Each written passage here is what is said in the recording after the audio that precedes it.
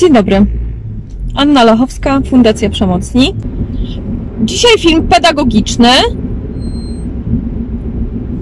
o tym, jak eliminować niepożądane zachowania atencyjne, histrioniczne u dziecka. I rozmawiamy na konkretnym przykładzie. Tak jak powiedziałam, jest to film potrzebny mi w pracy. Z jednej strony będzie bardziej w takim razie może nie uniwersalny, a z drugiej moim zdaniem na realnym przykładzie będzie bardziej praktyczny, a uniwersalność przecież można przenieść. Inteligentna osoba sobie przeniesie, więc myślę, że że to nawet dobrze, że na przykładzie. Dobra, za dużo wstępu, jak zawsze, za dużo słów. E, mamy taki przypadek. E, pani mama jest na niej za dużo. Ma na sobie za dużo. Nie jest to w ogóle pierwszy przypadek mm, pracy z rodziną e, w Fundacji Przemocni, gdzie mama mając na sobie za dużo zaczyna chorować na serce. I tutaj e, pozdrawiam i zachęcam Was do zapoznania się z działalnością rodziny Kłapów, którzy kilka lat temu korzystali z pomocy fundacji. Za 300 metrów na rondzie trzeci zjazd. pomagali w fundacji i ogarnęli swoje problemy na tyle, że dzisiaj mama Dagmara z córką Amelią prowadzą swoją działalność razem. Amelia e, tatuuje, a Dagmara ma ofertę kosmetyczną, a jej największą pasją są pazury, bo ona jest taka plastyczna, więc wszystkie wzory, e, wszystkie te wzorki na e, paznokciach to jest e, coś, co po prostu jest pułapką na Dagmarkę. Linkuję Wam je pod filmem. To jest autystyczne dziecko, więc to też ma znaczenie, jak z nim rozmawiać, ale nie dlatego, że z dziećmi autystycznymi trzeba rozmawiać w jakiś szczególnie wyszukany, trudny sposób, bo do nich nie dociera normalnie, ale dlatego, że dziecko autystyczne nie przyjmie tak, bo tak. Yy, No chyba, że ma złamany charakter. Ale dziecko autystyczne będzie oczekiwało logicznego wyjaśnienia, nie okłamywania go, powiedzenia, w czym jest problem, jakie są alternatywy i ustalenia z nim, co robimy z daną sprawą, tak? Na dzieci neurotypowe może zadziałać, masz tak zrobić, bo tak. Ale zasadniczo ja w ogóle, no zresztą cała nasza fundacja na tym polega, e, nasza fundacja jest e, autystyczną propozycją psychoedukacji i psychohigieny, dlatego że komunikacja autystów jest e, naturalnie taką komunikacją, która jest doradzana przez, przez wszelkie nurty, szkoły, trendy, prądy opracowujące wzorce poprawnej komunikacji. E, Tak więc e, komunikacja odpowiednia dla autystycznego dziecka e, będzie odpowiednia dla każdego dziecka. Natomiast niekoniecznie komunikacja, która zadziała na dziecko neurotypowe, zadziała na autystyczne. Natomiast właśnie ta komunikacja jak do dziecka autystycznego bardzo sprzyja wszelkim aspektom rozwoju osobowości, również dziecka neurotypowego. No i tam jest taka sytuacja, że tata wymiękł psychicznie, jest nie, nie, nie jest w stanie dźwignąć w tym momencie swoich obowiązków e, ojcowskich w sensie emocjonalnym i mężowskich w sensie takim psycho, psychoemocjonalnym. E, więc tutaj tym bardziej na mamie jest bardzo dużo. No i jest tam małe dziecko, które dopiero zaczyna się uczyć chodzić. A to nasze dziecko autystyczne to jest e, sześciolatek, 6-7-latek. No i jakie są problemy e, z, z młodym, naszym młodym autystykiem? No takie, że przede wszystkim zaliczył regres w swoich zachowaniach. I nie, nie mówię tutaj o regresie autystycznym, tylko mówię o regresie, takim typowym regresie e, starszego rodzeństwa przy młodszym, kiedy młodsze jest mm, bardziej w centrum uwagi rodziców, bo jest bardziej wymagające po prostu, tak? A e, starsze zaczyna, zaczyna uwsteczniać swoje zachowania tak, jakby było samo małą dzidzią. No i do tego absolutnie młody nie może zdzierżyć emocjonalnie różnych aspektów całej tej sytuacji i wymaga i od swojej mamy, i od swojej babci właśnie takiego zajmowania się nim jak małą dzidzią. Dużo płacze, dużo krzyczy, yy, wiesza się na dorosłej osobie, ryczy, do tego jęczy, jojczy, wiecie, no i szczególnie jest to bardzo niebezpieczne, jeśli mama, na którą on się tak rzuca, jest chora na serce, a jest chora mocno. I z tego, co z nią porozmawiałam, ona wszelkie, wszelkie metody, y, które są tutaj właściwe, stosuje. Może metody to nie jest dobre słowo, wiecie, ja w ogóle ja w ogóle bardzo nie lubię e, mówienia o wychowaniu e, w, takim kontekście, w takim spojrzeniu, że to są metody. Bo to brzmi jak tresura. Natomiast mama zachowuje się wobec tego dziecka w sensie pozytywnym, e, tak jak jest to dobre dla dziecka. Natomiast no te zachowania niepożądane, bardzo ciężkie dla mamy, bardzo ciężkie też dla dziecka, e, cały czas są. I ona się pyta, co zrobić e, e, z tym, tak? No tu mamy dwa aspekty i wszystkie je sobie omówimy. Omówimy sobie też te dobre rzeczy, które mama robi. Natomiast zaczniemy od, te, od tego, dlaczego te niepożądane zachowania cały czas się pojawiają. E, dla, na razie, dlaczego w sensie takim behawioralnym, czyli takie, no, zachowaniowym czysto, mm, czyli takie, takie właśnie, tu, tu, tutaj, już, tutaj już mamy metody, bo to już jest behawioryzm, czyli rodzaj tresury, warunkowania. Mianowicie, wszystko, co przynosi skutek, na naszej planecie się rozwija, kwitnie. Czyli każde zachowanie dziecka, które przynosi mu skutek, który ono chciało tym zachowaniem osiągnąć, będzie wzrastało. Więc zawsze sobie musimy się zastanowić, czego to dziecko właściwie chce w tym momencie. Ono chce uwagi, tak? Tak. Dzieci zazwyczaj są uwagi. A jeśli już się drze i na tobie wiesza i się przytula paranoicznie wręcz, e, to na pewno chodzi mu o uwagę. I teraz tak. Czy chcesz poświęcić swojemu dziecku uwagę? Myślę, że chcesz. Czy chcesz, żeby Twoje dziecko zwracało się po Twoją uwagę w taki sposób? Myślę, że nie chcesz. Więc co musisz zrobić z tym sposobem?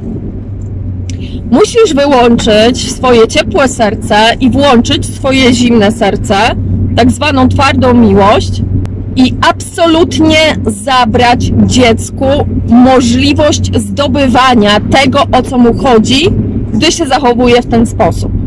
Znaczy, możliwość zdobywania tego przez to zachowanie. Czyli, jeśli dziecko ryczy, krzyczy, wiesza się na tobie, płacze, szarpie cię, to ty mu mówisz, szczególnie dziecku autystycznemu. Kiedy tak się zachowujesz, to dla mnie jest za głośno, ja się źle od tego czuję. Kiedy krzyczysz, kiedy płaczesz, to dla mnie to jest za głośne, nieprzyjemne dla moich uszu, ja się od tego źle czuję, nie mam ochoty Cię wtedy przytulić, nie mam ochoty z Tobą rozmawiać, mam jedynie ochotę, byś wyszedł i dał mi spokój. Kiedy się na mnie wieszasz, to mnie to boli, mi jest niewygodnie, nieprzyjemnie. Wiecie, ja nie mówię, że trzeba aż takim tonem mówić, tylko ja prowadzę samochód i chcę, żeby było wyraźnie, więc ja trochę eskaluję jeszcze, tak? Ten ton. Jest mi niewygodnie, mnie to boli, mi jest ciężko, mi się to w ogóle nie podoba i ja wtedy nie mam ochoty na kontakt z tobą. Nie rób mi tego. Tak? Ale oczywiście, szczególnie z człowiekiem autystycznym, ale nie, z każdym, z każdym. Szczególnie w procesie wychowania po prostu. Daj alternatywę. Więc nie kończysz na nie rób mi tak. Tak? Jeszcze mówisz o konsekwencjach, sorry, jeszcze, jeszcze to. Jeśli będziesz się tak zachowywał, jak powiedziałam przed chwilą, będę cię absolutnie olewać. Będę cię traktować, jakbyś nie istniał. I teraz dajmy alternatywę. Ale ja rozumiem, że chcesz kontaktu ze mną. Ja z tobą też. Ja rozumiem, że ty chcesz się przytulić, że ty chcesz, żebyśmy rozmawiali, że ty potrzebujesz bliskości. Ja też. Ale ona musi być taka, żeby była przyjemna. Dla mnie i dla ciebie. Co byś teraz chciał? Przytulić się? No i dziecko odpowie tak albo nie. Jeśli odpowie nie, to zapytaj się, co by chciało. Jeśli odpowie tak, zapytaj się, tu się chcesz przytulić, czy idziemy usiąść? Na przykład, tak? Daj mu wybór.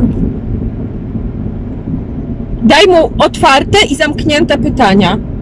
Dawaj dziecku zamknięte pytania, dlatego że mózg, e, który się rozwija, ma nieograniczoną ilość możliwości, więc warto dziecku jest zamykać wiele opcji. Na dwa wybierz jedno z dwóch. Ono wtedy się uczy samostanowienia, ma poczucie, że ma wpływ na swoją sytuację, ale nie stawiasz go w sytuacji, w której on musiałby przesiewać nieograniczoną ilość opcji, tak? Bo dziecko często nie wie nawet, czego chce.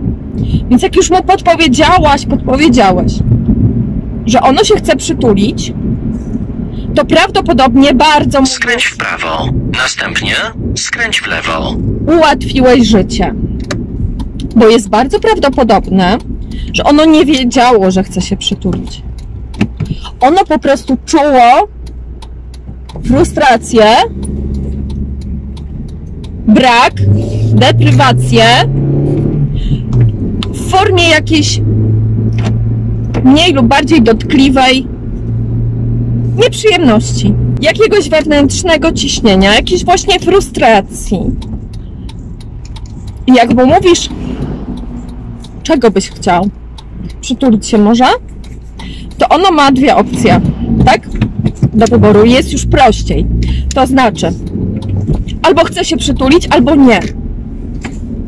I jeśli to przytulenie jest tym czymś, co uspokoi tę jego frustrację, to super.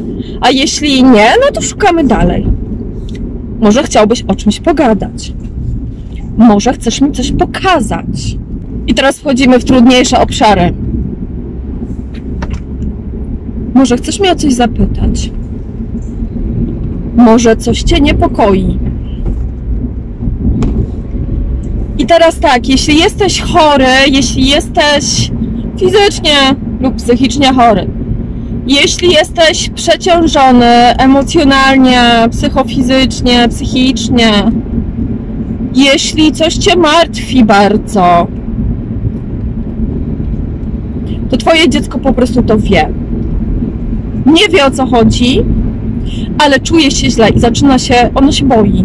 Więc nie ma tak, że ty ukryjesz problemy przed dzieckiem. Nie, ty sprawisz, że twoje dziecko, jeśli masz problemy, twoje dziecko nie będzie wiedziało, czego się boi. A to jest najgorsza sytuacja z możliwych, ponieważ ono wtedy nie ma żadnej możliwości sobie z tym lękiem poradzić. I jeśli ty mu powiesz, że nie ma się czego bać, to nie sprawisz, że ono przestanie się bać, tylko sprawisz, że zaczną u niego się rozwijać zaburzenia lękowe uogólnione. Najgorszy do leczenia, najtrudniejszy rodzaj lęku. Bo o ile przy na, na przykład fobii masz, masz jakiś obiekt, jakiś temat i idziesz na tak jakby odczulanie na ten temat, tak? Ćwiczysz z tym obiektem, on często jest symbolem lęku, ale ten lęk jest na coś sfokusowany, jest na coś przeniesiony. To wiadomo, wiadomo jak to zacząć leczyć. Mamy punkt wyjścia. Przy OCD, Obsessive Compulsive Disorder, tak? Przy, przy, przy zaburzeniach obsesyjno-kompulsywnych mamy jakiś wyraźny problem z którym możemy sobie radzić behawioralnie. Natomiast z lękiem uogólnionym jest tak, że się boisz, całe ciało jest w stresie, odczuwasz silne objawy lęku, ale nie możesz znaleźć jego przyczyny. I to sprawia, że boisz się po prostu życia. Są totalnie paskudne zaburzenia. Wiem, co mówię, bo ja całe dzieciństwo, dorosłość, kawał dorosłości też z tym przeżyłam. Mi na szczęście pomogły leki przeciwdepresyjne na to. To znaczy, pierwszy raz, gdy mi zadziałała fluoksetyna, a na autystów często SSRI działają od razu, trzy godziny po wzięciu chyba drugiej fluoksetyny w życiu, przestało moje ciało odczuwać lęk. Ja miałam wtedy 32 lata. I było to tak piękne uczucie. Ja myślałam, że każdy żyje z czymś takim jak ja, bo ja się, ja to miałam od zawsze. Dlaczego to miałam od zawsze? Moi rodzice żyli w ogromnym lęku i niepokoju. W tak całościowym, że był nierozwiązywalny. Dlatego, jeśli coś Cię niepokoi, nie funduj dzieciakowi niewiedzy i niepewności.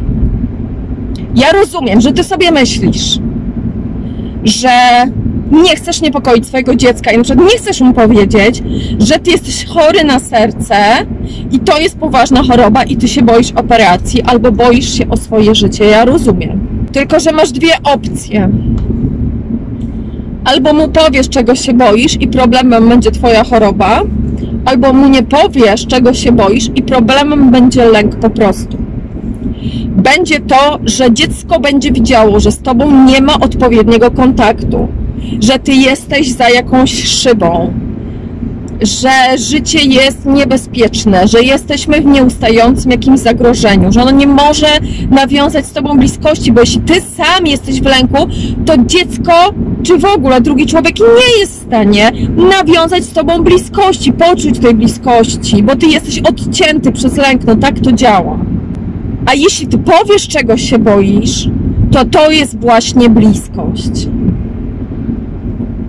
Odsuwasz tę szybę. Jesteś ty i twoje dziecko. Słuchaj, nie musisz mu mówić, że się boisz, boisz że umrzesz. Bo to jest naprawdę hardcore. Trochę możesz skłamać dla dobra twojego dziecka. Powiedz, że się boisz na przykład, że cię po operacji będzie bardzo bolało. Albo że nie będziesz mógł pracować po tej operacji długo albo że nie będziesz mógł się bawić z nim po tej operacji długo, albo że będziesz musiał zrezygnować ze swojego ulubionego sportu, albo że się boisz, że ta operacja nie zadziała i do końca życia będziesz żył w bólu, tak? No nie strasz dzieciaka czymś, co mu rozwali świat. Na śmierć swoją potencjalną i tak go nie przygotujesz i tak, bo nie można się przygotować na śmierć najbliższej osoby. Możesz o tym wiedzieć, a i tak się nie przygotujesz. To i tak jest dramat, który po prostu wybucha w momencie śmierci i on i tak się dzieje i tak. Więc ostrzeganie, że umrzesz, no to ma sens z partnerem, tak, z dorosłymi innymi, ewentualnie, ponieważ możecie wtedy pozałatwiać sprawy, takie jak testament i tak dalej. Ale y, dziecko naprawdę nie musi być na to przygotowane. Bo tak jak mówię, na to i tak się nie da przygotować i faktycznie go przerazisz, i faktycznie mu zaszkodzisz i daj sobie spokój z czymś takim. Ale wytłumacz mu, że ono dobrze widzi. Ono bardzo dobrze widzi. Ty naprawdę się boisz. Boisz się tego, tego i owego. Boisz się czegoś, co dotyczy ciebie, a nie jego bezpośrednio, bo twoja śmierć to dotyczy dziecka bardziej niż bezpośrednio. Powiedziałabym, że nawet w pewnych wymiarach dotyczyłoby dziecka bardziej, dotyczyłaby dziecka bardziej niż ciebie. Jeśli powiesz, boję się, że nie będę miał sił, żeby się z tobą bawić, no to tak, to jest dotyczące dziecka, ale to nie jest taka gigantyczna strata, żeby dziecko musiało się tego bać strasznie, tak? Bo to, że nie będziesz e, się mógł z nim bawić na przykład e, w piłkę, no to nie znaczy, że nie będziesz w ogóle w jego życiu nie będziesz miał dla niego czasu, czy tam coś tam, tak? To nie oznacza, że znikasz. To nie jest przerażające. A może w dziecku takim wieszającym się, krzyczącym, podwyższającym ciśnienie i tętno wzbudzić wyższe poczucie odpowiedzialności za własne zachowanie w sytuacji, gdy Twoje zdrowie nie domaga. Więc tak, wyjaśnij dziecku, że dobrze widzi, że się boisz, że się denerwujesz. Podaj mu powód, który jest prawdziwy, ale równocześnie taki, żeby ono mogło go udźwignąć emocjonalnie. Ja oczywiście jestem um, absolutnie przekonana, że osoba, dla której kręcę ten film, y, nie umrze. E, natomiast te rzeczy, które teraz mówię, wielu z Was niestety, niektórych z Was mogą dotyczyć, prędzej czy później mogą dotyczyć, a nawet jeśli tak naprawdę nie dotyczą, to przemyśleć je i tak warto, tak? No więc, jeśli boisz się, że umrzesz, to Twój mąż, Twoja żona, Twoja siostra, Twoja przyjaciółka, Twój przyjaciel to są osoby, z którymi powinieneś móc o tym porozmawiać. Dlatego, że jeśli boisz się, że umrzesz zaraz, przedwcześnie, czy nawet nie przedwcześnie, przychodzi już pora na ciebie, bo jesteś już bardzo starym człowiekiem, ale i tak się boisz, to po to wchodzimy w relacje partnerskie, byśmy mogli tworzyć bliskość bez tabu. I nie ma co udawać, jeśli ty codziennie się zastanawiasz, czy dożyjesz następnego dnia. Nie ma co udawać, że ty się nie boisz, po to, żeby nie niepokoić żony na przykład.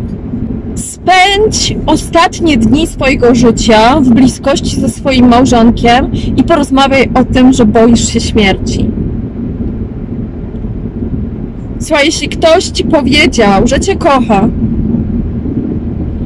zadeklarował ci związanie się na życie, to w pakiecie masz również temat śmierci. I nawet jeśli będziecie z tego powodu oboje płakać w tym momencie, to to nie jest złe, tylko dobre. Natomiast dziecko nie jest od tego, żeby znosić, wiesz, żeby, żeby współnosić z tobą twoje ciężary emocjonalne. Dlatego ty jesteś winien dziecku z jednej strony nie szukanie u niego wsparcia, Skręć w lewo.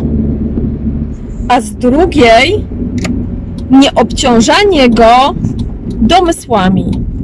Bo wiesz, wydaje ci się, że je chronisz, nie mówiąc mu o problemach, ale zostawiasz je w niepokoju, w nieprzyjemnej atmosferze, w atmosferze, w której widać po prostu, że coś się dzieje, skazane na to, żeby się właśnie musiało domyślać, musiało szukać. A wyobraźnia działa tak, że jeśli nie wiesz, czego się boisz, ale się boisz, jeśli nie wiesz, co cię czeka, ale wiesz, że cię czeka, to sobie wyobrażasz dużo więcej niż tylko jedną możliwość. A wiele z tych możliwości jest straszne. I często to, co ma się stać, kiedy już się stanie, jest mniej straszne niż oczekiwanie na to. Dlatego właśnie jesteś winny rozwianie wątpliwości dziecka. Jak je rozwiejesz, to ono sobie będzie radziło z czymś, o czym wie, czym jest. Lub no na tyle, na ile ma doświadczenia, tak? Yy, ale ale jakoś będzie miało obiekt, do którego się może odnieść. I ono będzie mogło o tym porozmawiać z tobą, z każdym innym dorosłym, któremu ufa. Będzie o tym mogło porozmawiać ze swoimi przyjaciółmi, a dzieci nie są głupie i też potrafią powiedzieć mądre rzeczy i też potrafią udzielić bardzo mądrego wsparcia jeden sześciolatek drugiemu. Będą mogły o tym porozmawiać ze starszym rodzeństwem, z rodzeństwem swoich przyjaciół. Dziecko, wiedząc jaki ma problem, może chodzić i szukać wsparcia. Może go szukać w filmach, w książkach. Ono będzie się zajmowało swoim stosunkiem do tego problemu. Ono będzie mogło się bronić przed tym problemem. A jeśli ono nie wie, w czym jest rzecz, tylko po prostu mama się dziwnie zachowuje, to ono nie ma się czego złapać, żeby naprawiać.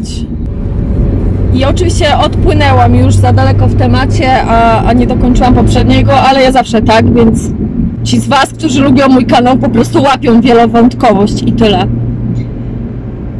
Co zrobić, e, jeśli Ty powiedziałeś dziecku, że ma tak się nie zachowywać, a ono się dalej tak zachowuje? No prosta sprawa, co zrobić. Robisz to, co mu zapowiedziałeś. Czyli traktujesz je jak powietrze, kiedy się na ciebie rzuca, kiedy wrzeszczy, kiedy ryczy, płacze. Traktujesz jak powietrze i nie będzie tak, że to od razu zadziała. Ponieważ wygaszanie, tutaj znowu mamy podstawowe zasady tej planety, czyli wygaszanie opisuje nam fizyka. Jest to taki proces, gdzie moc danego zdarzenia jest tak silna, że dochodzi do ekstremum, tam się odbija o granicę rzeczywistości i ma przez to odbicie tyle siły, że dobiega do drugiego, yy, do drugiej skrajności. Tam się znowu odbija, ale już ta siła jest trochę mniejsza po odbiciu i po każdym odbiciu ona jest trochę mniejsza tak? I takie wahadło z taką kulką na środku, jak tak walniecie, żeby, tak naciągniecie, żeby ono od jednego maksimum do drugiego, od jednej skrajności do drugiej się wahało, to ono będzie coraz bardziej oscylowało wokół środka, aż w końcu się uspokoi na środku, tak? I tak samo jest ze wszystkim na Ziemi. No nie ze wszystkim, dobra, ale to jest fizyka newtonowska. Fizyka, fizyka e, newtonowska jest ogromną płaszczyzną e, zasad, ogro, ogro, ogromnym obszarem, e, zbiorem zasad, e, którymi się rządzi nasza planeta.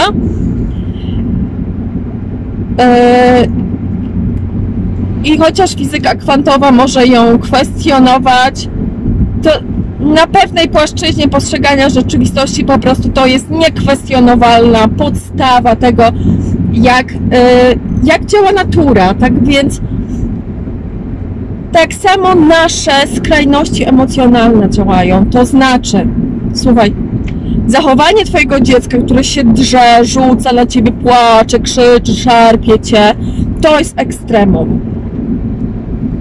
Traktowanie dziecka jakby nie istniało, jak powietrze, to jest drugie ekstremum. I ono ze swojego ekstremum odbija się od twojego ekstremum i jest szok, nie? I co ono zrobi? Takie zdziwione. Ale nie tylko dziecko, dorosły też tak zareaguje i zwierzak też tak zareaguje. Spróbuje mocniej, bo to dotąd działało, a dzisiaj przestało działać, więc może ty się po prostu przyzwyczaiłaś i twój próg tolerancji się trochę podwyższył, więc ono spróbuje mocniej, ono będzie się bardziej rozdzierało, ono cię będzie bardziej szarpało, a ty je olewasz. I serce ci pęka i myślisz sobie, Boże, jak ono się męczy. I myślisz sobie, Boże, jak ono jest biedne. Jak ono jest zdesperowane. I po prostu czujesz się najgorszą matką, czy najgorszym ojcem na świecie, ale nie reagujesz. I kiedy tak ci to serce pęka i czujesz się tak okropnie, gdy to twoje dziecko wrzeszczy i wyje i buczy i szarpie i błaga na kolanach i nie wiadomo co wam jeszcze robi, rzuca telefonem jeszcze rzeczy, ty myślisz sobie tak. Jeżeli ja teraz nauczę moje dziecko, że takie zachowanie przynosi dobry skutek, ono osiąga w ten sposób cele, to ono się tak będzie zachowywało potem wobec nauczycieli, wobec przyjaciół i wobec swojego partnera, gdy będzie dorosłe. A to będzie oznaczało, że będzie miało ono problemy w szkole, będzie nielubiany przez rówieśników, a jego związki będą się rozpadać. Dlatego teraz muszę być twarda, twardy i zimny, po to, by wymodelować zachowania mojego dziecka na bardziej akceptowalne. I ono tam dalej, wiesz, eee, a ty sobie mantrujesz, że robisz to dla jego dobra. I nie ty mu robisz teraz krzywdę, tylko ono sobie samo ją robi, ale ono bez tej krzywdy, bez tego dyskomfortu po prostu nie wzrośnie jako osobowość. Żyjemy na planecie, która jest okrutna. I wzrost na tej planecie odbywa się przez dyskomfort. I najlepsze, co swojemu dziecku teraz możesz dać, to jest ten dyskomfort. Wiesz, jak działa płacz i wściekanie się? Bardzo wyczerpują. To po pierwsze. Fizycznie wyczerpują, męczą. To po pierwsze. Po drugie, e, histeria utrzymuje swój poziom lub się skaluje w górę, jeśli wywołuje reakcję. To znaczy, jest coś jak nakręcanie się tak zwane, no nie? Nakręcanie się jest możliwe, jeśli Twoja akcja historyczna wywołuje reakcję i rzeczywistość stawia Ci czynny opór. Ale jeśli rzeczywistość stawia Ci bierny opór, to nie ma jak eskalować tych emocji i bardzo szybko w płaczu, w krzyku pojawia się taka dziura jakby. I to jest dziura na zastanowienie się, na myślenie.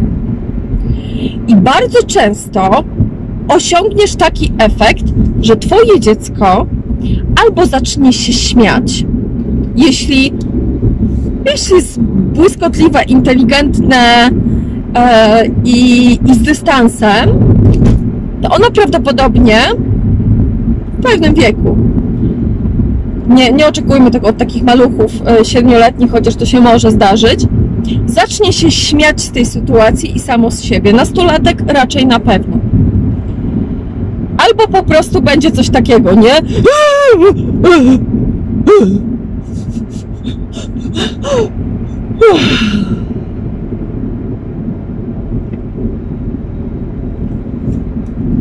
I coś tam sobie weźmie w łapki i się zacznie zajmować czymś.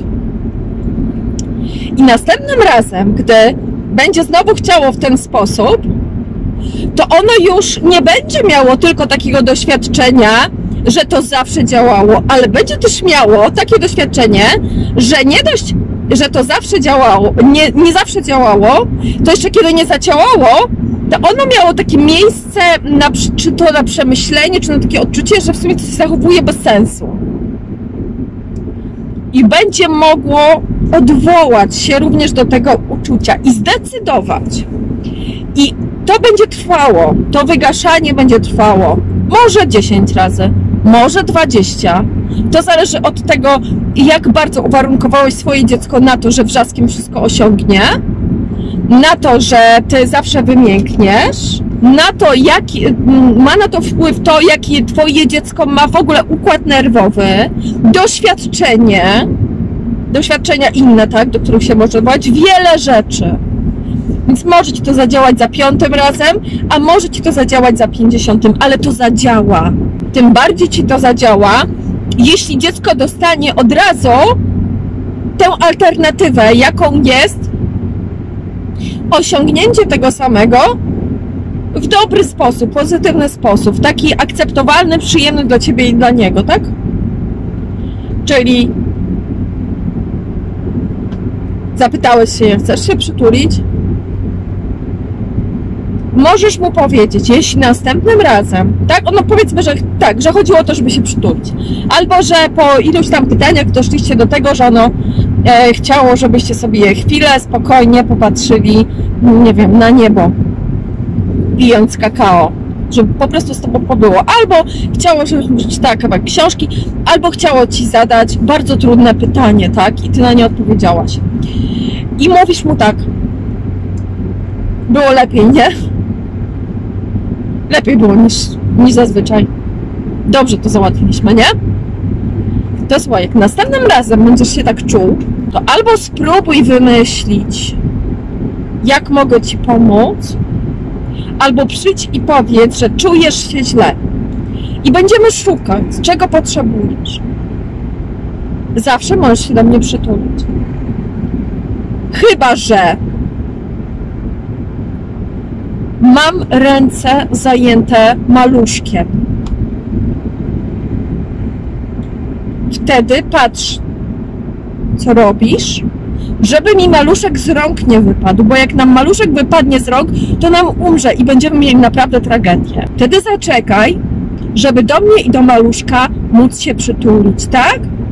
Ile będziesz czekał? Pół minuty?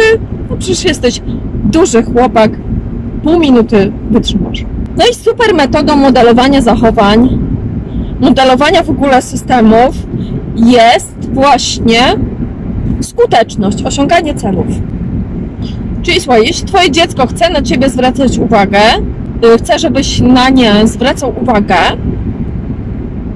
to jeśli przy pożądanych zachowaniach będziesz zwracał uwagę, będziesz je doceniał, to ono będzie zmniejszało ilość męczących, niekoniecznie skutecznych zachowań niepożądanych na rzecz tych pożądanych. A więc, jeśli jakkolwiek pomoże Ci przy tym maluszku, pochwal go, jaki jest świetny starszy brat, starsza siostra. Jaki jest wrażliwy człowiek. Jak sobie świetnie radzi z dziećmi jaki jest już duży chłopak, dziewczyna, że tak potrafi pomóc przy takim maluszku. Bo wiecie, dziecko z jednej strony ma zazdrość o maluszka, więc regresuje swoje zachowania, jakby samo było maluszkiem, ale z drugiej strony naturalnym marzeniem, dążeniem każdego dziecka jest być coraz starszym. Więc jak je zawstydzacie, mówicie, o, dużemu chłopakowi nie wypada, to się wkurza, on nie chce być tym, w takim razie dużym chłopakiem, tylko woli być tym maluchem, który ma lepiej, tak, bo ono woli mieć lepiej. I owszem, wolałoby być starszym chłopakiem, starszą dziewczyną, no ale przy tobie się nie opłaca mu, więc woli być maluchem. Ale jeśli ty używasz tego argumentu, że jesteś duży do pochwał, a nie do ganienia, to ono czuje, że to, że jest starszy, jest dobre, a nie złe. Bo ono ma inne profity z tego, że jest starsze, niż ten maluszek. Czyli niech on uczy maluszka chodzić. Niech on się z maluszkiem bawi. A nie mówię, że on się ma opiekować dzieckiem, tak? E, bo rodzic, który potrzebuje przerzucać opiekę nad, e, nad e, maleńkim dzieckiem na drugie małe dziecko, no jest rodzicem, który e, jest niewydolny wychowawczo, tak? Więc to nie jest dobre. Natomiast jest też naturalne, że osobniki w stadzie się sobą opiekują. Bo tak się buduje relacje. No tym są relacje w, w stadach zwierzęcych, a przypominam, że my jesteśmy zwierzolami. E, tak więc, żeby powstała realna więź między rodzeństwem, ono musi się sobą wzajemnie opiekować. I oczywiście malinka, która dopiero się uczy chodzić, no raczej się nie będzie umiała opiekować e, nikim, aczkolwiek Zjedź z ronda. Może się e, zdarzyć, że, ono będzie, że, że nawet taka e, malinka, co się uczy chodzić, będzie przytulała niemowlaczka, jeśli się przydarzyło od razu, że zaraz po porodzie e, mama zaszła w ciążę i jest drugie dziecko i jest to 9-10 e, miesięcy różnicy, nie? No może się tak zdarzyć. 9 to nie, ale 10. E, może się tak zdarzyć. Więc może ten maluszek koło roku będzie mógł przytulić tego niemowlaka, no ale to są jakieś takie marginalne bardziej e, zachowania. No raczej takie dziecko, które się uczy chodzić, jeszcze nie jest zdolne do dawania z siebie opieki, ale ono później będzie zdolne. Szczególnie jeśli właśnie rodzeństwo je nauczy, że się nim opiekuje od dziecka. I ta opieka, ona nie musi być, wiecie, w jakikolwiek sposób wartościowa e, w sensie przetrwania. Znaczy, to nie musi być zastępowanie rodzica tylko to może być aktywność rozwojowa obojga tych dzieci i czas spędzony wspólnie z rodzicem. To znaczy, zamiast na przykład uczyć malucha chodzić, trzymać go za łapki, ty naucz starszego, jak się uczy chodzić dzieciaczka. I ty bądź z nimi obojgiem ale niech starszy się wykazuje tym, jakim on jest dobrym nauczycielem chodzenia dla tego maluszka. I zamiast mówić, oj, oj, oj, jak ty super chodzisz, o mojko moje, moje, jakie zdolne, to ty mówisz, wow, jakim ty jesteś super nauczycielem. Masz talent do dzieci, masz talent do uczenia takich maluchów. Świetnie uczysz chodzić no gdyby inne dzieci mogły się uczyć chodzić pod twoją e, pod twoją opieką, tak, e, mogły się e, uczyć chodzić z tobą, to wszystkie by biegały. I wtedy ten młody starszy będzie chwalił tego maluszka. To młody starszy będzie mówił do maluszka, oj ty, ty, jak jesteś, a, wygrałeś, super, zrobiłeś krok, ale piękny krok. Ty dzieci nas naśladują, więc ty chwal starszego. No chwal czasem maluszka, oczywiście, no wiadomo. Bo, bo on też to będzie wtedy ten starszy naśladował, ale przede wszystkim chwal młodego za to, jaki jest świetny w tym, co teraz robi i niech młody daje maluszkowi to, czego maluszek w tym momencie potrzebuje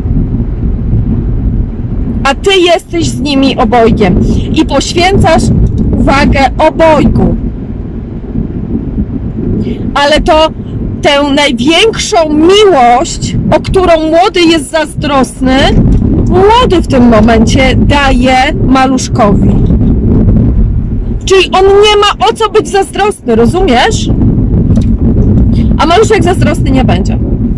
Maluszek zazdrosny nie będzie, bo, bo on będzie dostawał od tego starszego rodzeństwa to coś. Będzie też, wiesz, on się, on się, maluszek się urodził w rzeczywistości, w której starsze rodzeństwo już było. To maluszek jest zmianą dla starszego, ale starszy nie jest zmianą dla młodszego. Więc jeśli on, ten maluszek, będzie doceniany bardziej przez starszego niż przez ciebie, ale będzie patrzyło, że ty doceniasz starszego i oczywiście maluszka też i jesteś z nimi razem, to to będzie dobry świat bez zawiści, bez zazdrości, bez braków emocjonalnych, w którym ten maluszek wzrasta. Bo tutaj problemem są emocje starszego, dla którego maluszek jest zmianą i może być tą zmianą negatywną lub pozytywną. Spraw więc, by każda okazja, kiedy maluszek czegoś potrzebuje, była okazją do Twojego spędzenia czasu ze starszym. Tak jak opisałam, da się to zrobić, tak? A wtedy zupełnie eliminujesz powód do zazdrości. No i wracając do, do tego tematu e, choroby i tego rzucania się, tak? Ja podałam Wam bardziej bardziej taki ogólny, e, ogólne, co możecie powiedzieć dziecku, tak, to mnie boli, to mi przeszkadza, to mnie denerwuje, to jest dla mnie za głośne, mnie od tego bolą uszy, mnie od tego boli noga, nie rób mi tak. Ale w sytuacji choroby to jest grubsza sprawa, bo jest to sprawa ważniejsza, ty się nie możesz denerwować na dziecko. Nie dlatego, że to zaszkodzi dziecku, tylko dlatego, że to zaszkodzi tobie, może znaczy w sensie wiesz, za, za, za, zaszkodzi twojemu zdrowiu, zaszkodzi działaniu twojego serca. E, a im twoje serce jest bardziej chore, tym twoje dziecko ma z tego więcej strat. Więc twoim obowiązkiem jest dbać o to, jeśli ma, że jeśli masz chore serce, to nikt ma cię nie denerwować, łącznie z twoim dzieckiem. Jest to twoje zobowiązanie, twój obowiązek wobec twojego dziecka. Zadbać o jego zachowanie, tak, o jego wychowanie, tak, by ono nie nadwyrężało twojego serca, twojego zdrowia. No i co mówisz dziecku? Wyjaśnij, czym jest tętno, czym jest ciśnienie, jak działa serce, co ono robi. Nie w tej kolejności. Wyjaśnij, czym jest serce i co ono robi, na czym polega Twoja choroba, jak działa na Ciebie podwyższenie ciśnienia i tętna. Wyjaśnij mu, a nawet pokaż, bo jeśli chorujesz akurat na sercem, to masz ciśnienia, wiesz? Pokaż mu, jak wysiłek, nawet taki jak słuchanie hałasu, czy bycie szarpanym, wpływa na Twoje tętno i ciśnienie. Pokaż dziecku bezpośredni związek pomiędzy jego zachowaniem a stanem Twojego zdrowia. Powiedz mu, czym to się może skończyć. Odpuść sobie temat śmierci. Po prostu powiedz, że nie będziesz w stanie nawet mówić, że nie będziesz w stanie wstać, że cię to tak boli, że nie ma w ogóle opcji na nic innego. I tak dalej, nie? Aczkolwiek też, wiecie, musicie to już rozważyć sami w sobie, bo to nie jest koniecznie tak, że dziecko przerazisz tym, że ty możesz umrzeć.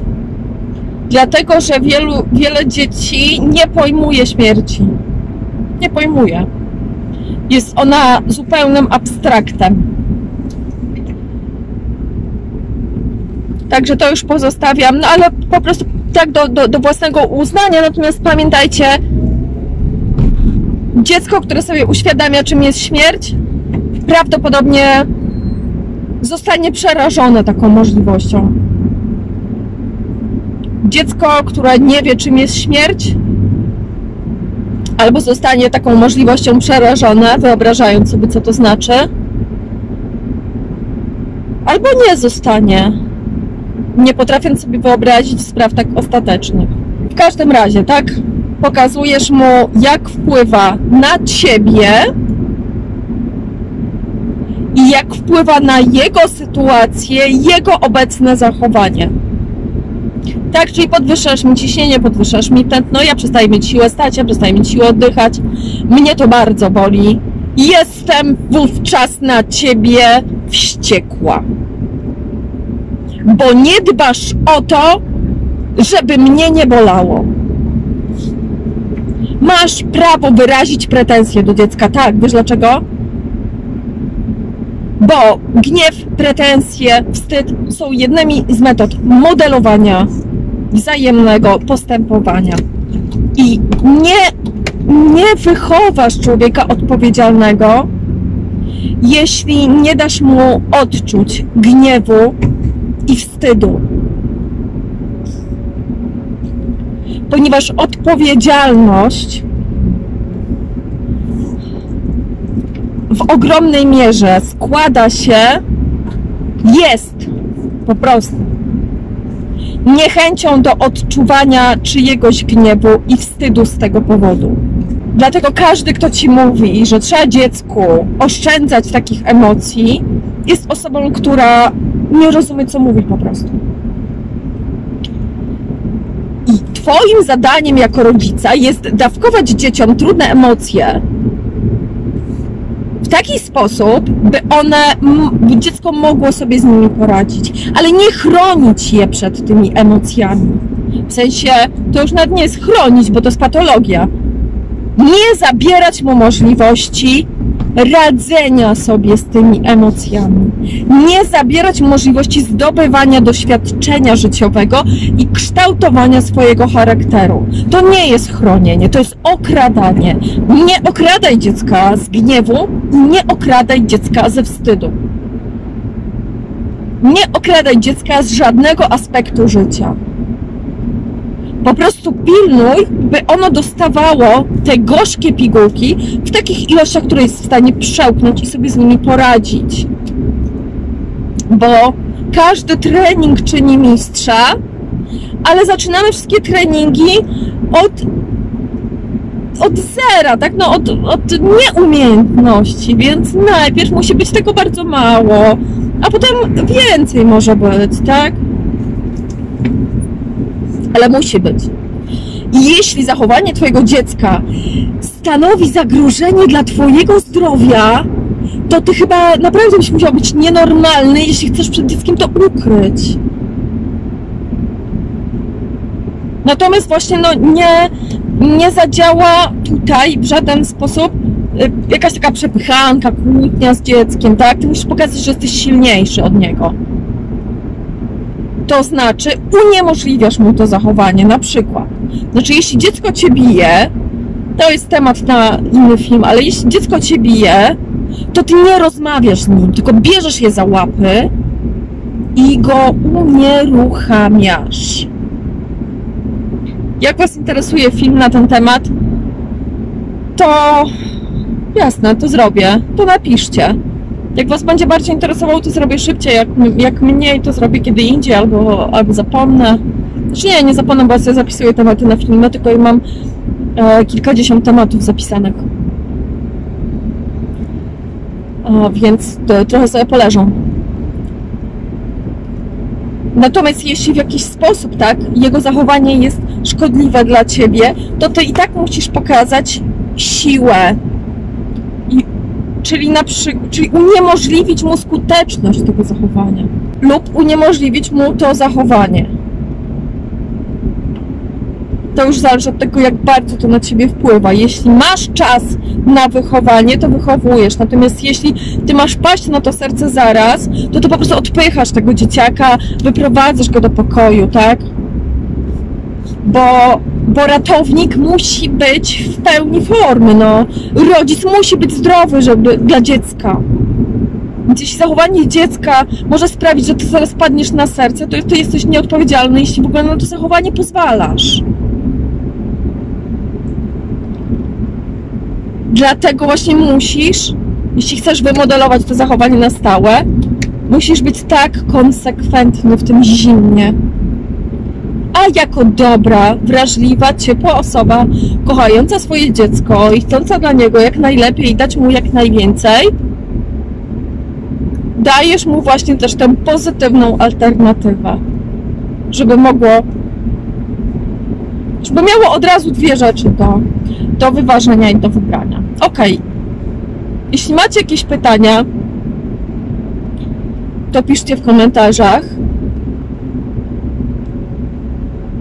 Mi się o wiele fajniej kręci z jakiegoś powodu, z powodu tematu, który mam teraz na konsultacjach z kimś, dla konkretnej osoby, która potrzebuje teraz rozwiązać jakiś problem. E, chętniej się odnoszę do czegoś, co wy napiszecie, niż co ja sama wymyślę, bo oczywiście ja jestem dobrym obserwatorem i ja cały czas widzę dookoła siebie w świecie, czy w środku siebie e, coś, o czym warto powiedzieć. Natomiast no, wiadomo, skoro gadam, to, to najfajniej się gada w jakimś dialogu. Także bardzo Was zachęcam do pisania wszelkich pytań i wątpliwości w komentarzach. Dziękuję bardzo. Fundacja Przemocnie zawsze utrzymywała się z wpłat zadowolonych klientów. Jak się pewnie domyślasz, w tych trudnych czasach tych wpłat prawie że nie ma. Jeśli nie możesz się przyczynić wpłatą do tego, by nasza fundacja dalej mogła pracować, zrób proszę ten drobny gest, który pomoże nam rozprzestrzeniać lepiej nasze treści. Zasubskrybuj kanał, jeśli go nie subskrybujesz. Daj lajka pod każdym filmem, który Ci się podobał.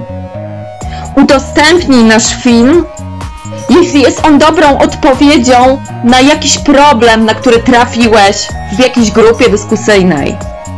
Wówczas przyczynisz się do tego, by zwiększyć nasze wpływy z reklam, które są małe, naprawdę małe, ale grosz do grosza.